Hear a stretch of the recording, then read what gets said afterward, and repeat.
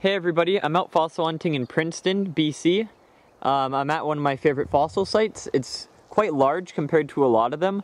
Um, the shale here is Eocene in age, so that's around uh, 40 to 50 million years ago after the dinosaurs went extinct.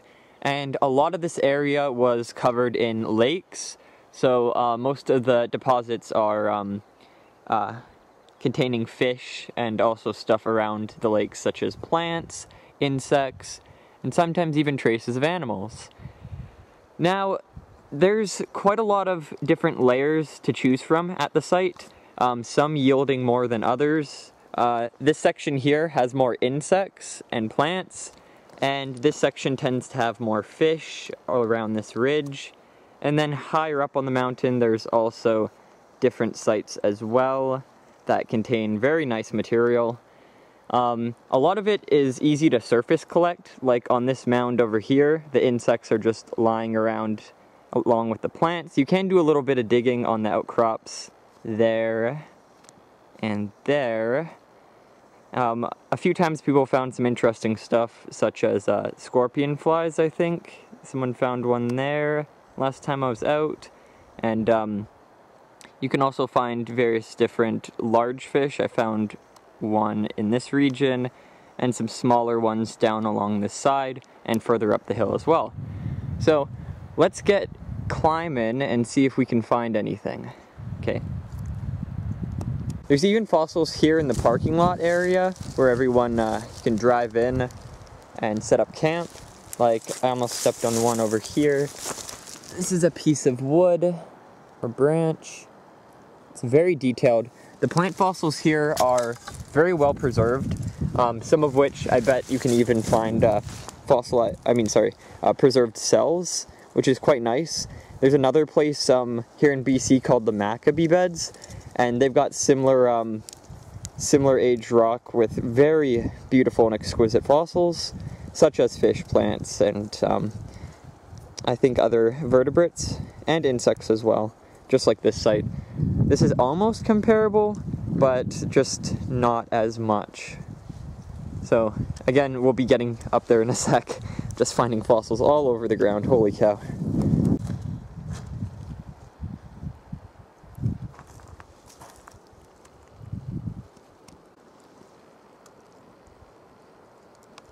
So those were some other specimens found along the parking lot area. So we're appro approaching the base of the site.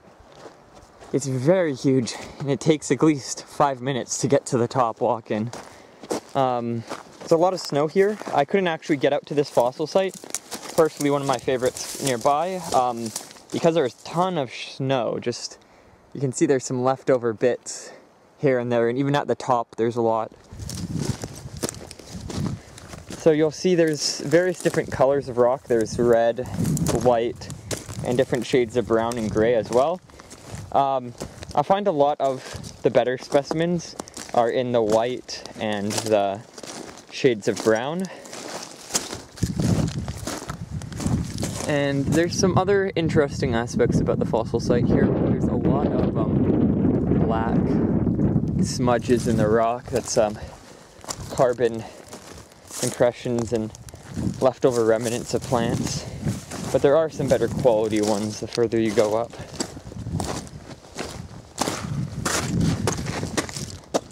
So let's continue on.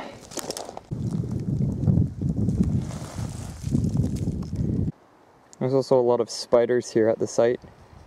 Spiders and flies. I think also some different types of crickets. Oh, he's coming towards me. Holy cow. Oh no yeah, so it's got to be careful when lifting up sections of the the cliff face rocks just to make sure you're not. Also good to wear gloves. Uh, the shale here is quite sharp. Um, I've already got a lot of cuts on my hand. I've been fossil hunting for hours now. Um, there's also some safety concerns around that. Don't um, uh, hunt at the bottom of the cliff face like uh, chiseling and knocking pieces off because it can collapse down. There's been a few miniature avalanches happening whenever I'm hunting. Oh, here. Here is one of the most common fossils at the site. It's Metasequoia, or I think, a, yeah, sequoia.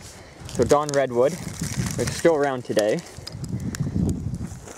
And uh, usually you can get complete specimens on larger pieces of uh, shale.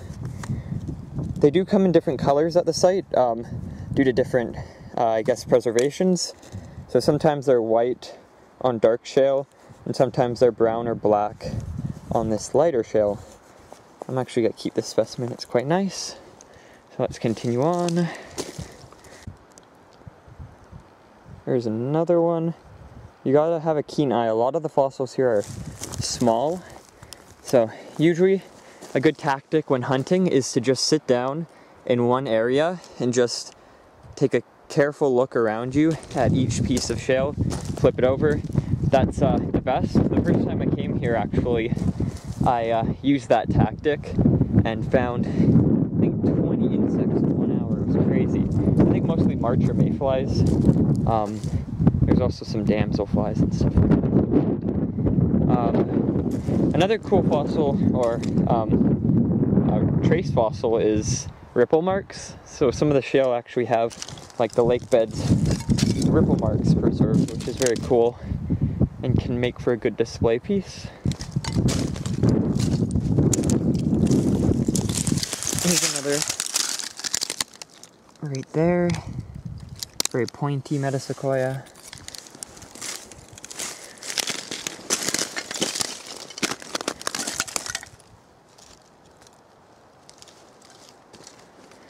You can see this is a little rock outcrop where people have been working, digging away at the side. Um, usually, it takes a while to find stuff when you're digging out parts of the hillside, but I find it quite easier and faster just to surface pick. The quality is very decent for being exposed to the sunlight and weather, which is pretty neat.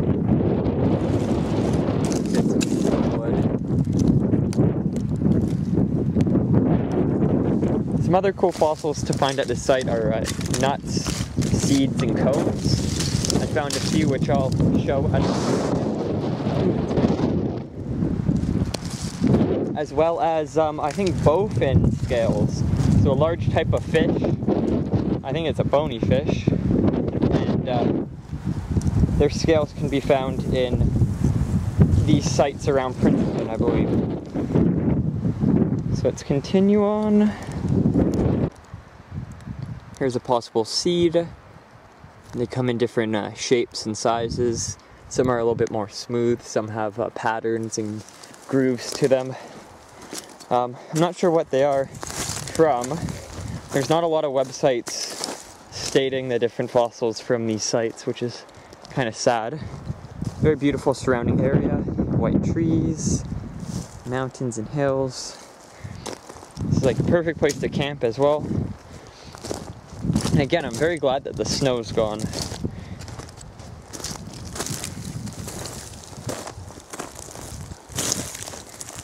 Let's see, anything in the whiter shale?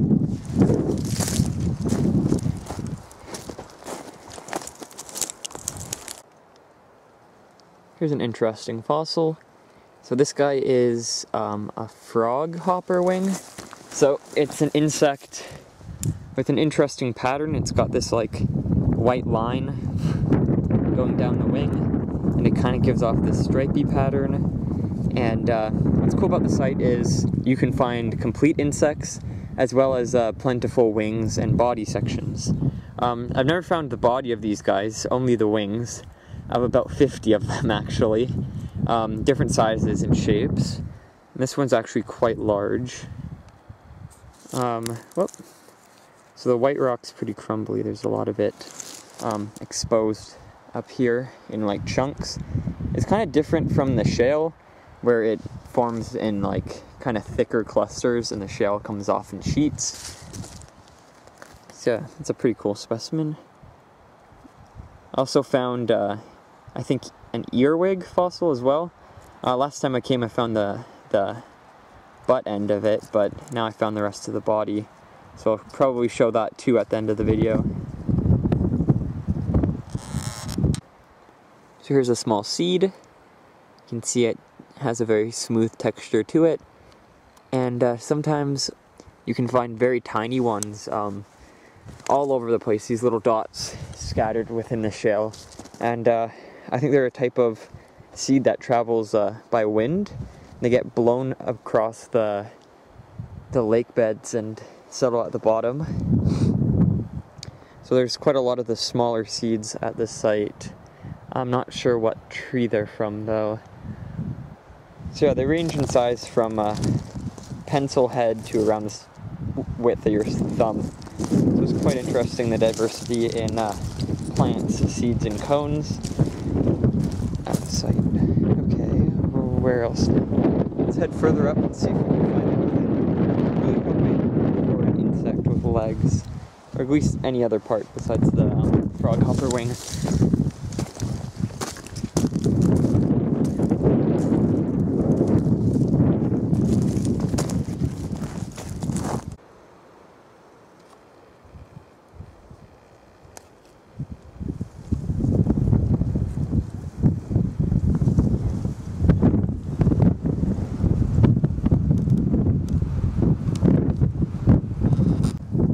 So here we are nearing the cliff side, um, or the cliff face rather. This is the starting point. You can see all the different layers up there.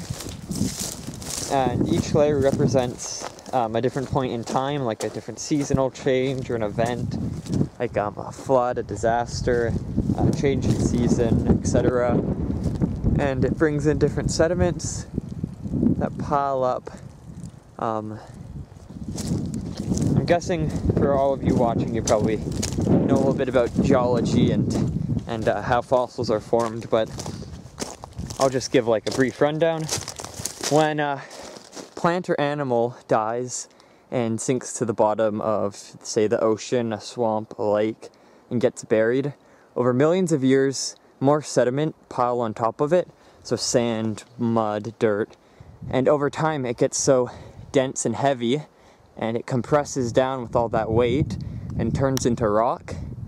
So uh, heat and weight condense sand, mud, silt, uh, dirt into stone, along with the animal's remains inside. So the fossil's lost most of its organic matter um, and has turned into uh, fossils. So each of these little pieces of shale uh, are part of history, which is really cool. And uh, if you're lucky, find a fossil on one. Tells a pretty cool story about the time. You can learn a lot about the seasons that uh, occur during these different layers by finding what's in them, like plants or certain insects that come out uh, during a certain month. And uh, there's some pretty cool instances where you can get a lot of different fossils in one layer due to a natural disaster event going on. So it's pretty neat what you can find at these different in Princeton. There's a little piece with some ripple marks on it. It's the bottom of a lake. It's pretty cool. I mean, all of this forms pretty much at the bottom of a, a lake, but it's cool when you get the, the ripple effects. Even better if you get some ripples with a plant or even fish.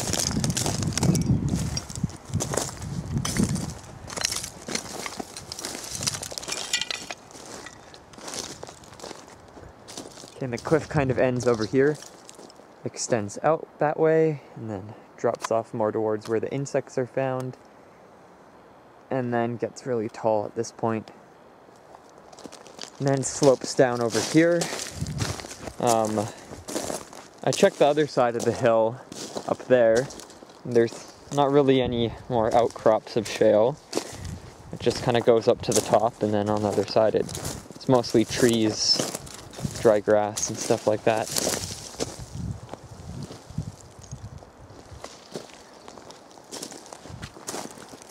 Uh, a lot of these trails like this one here I'm walking on are created by uh, animals like deer and um, I know there's also bears in the area, so that's uh, another thing to be warned when fossil uh, hunting out here.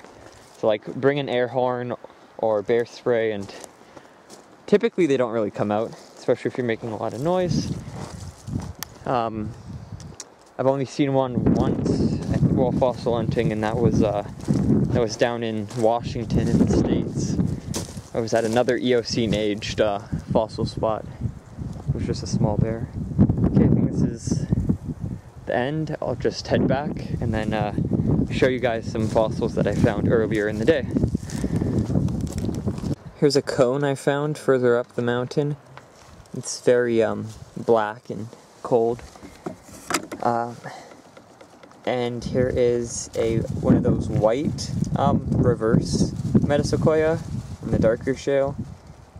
It's pretty cool. It's got some orange on it as well. There's another white one in there too.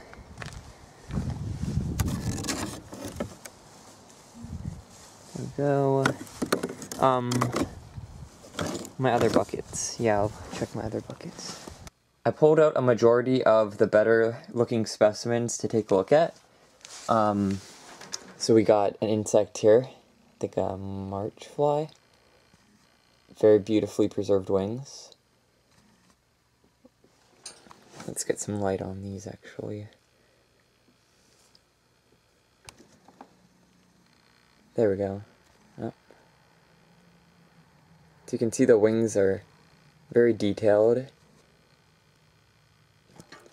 Then we got some sequoia over here. Here's the earwig I was talking about.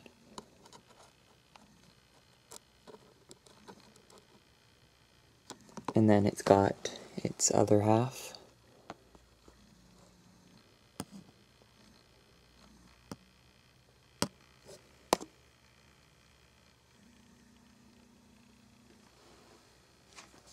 Then I've also got sweet ferns.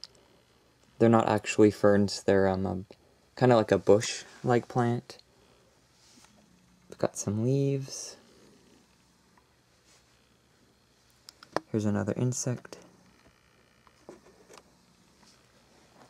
Some sticks. More metasequoia. I think this guy's a fish coprolite.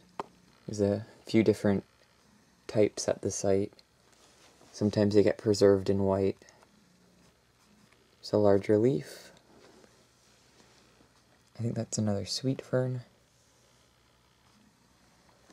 And uh, these, I believe, are bowfin scales, the large fish.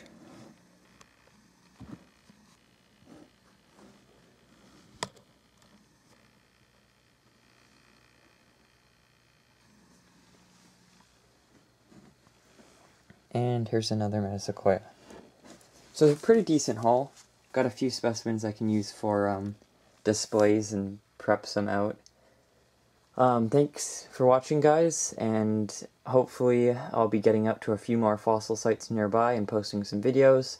Can also do some uploads of just specimens in the collection. Um, might even remove some dialogue and just maybe try and edit music in the background as well and I'll put information in the comment, or not comments, the description. So yeah, thanks for watching guys, and I'll see you next time. Bye.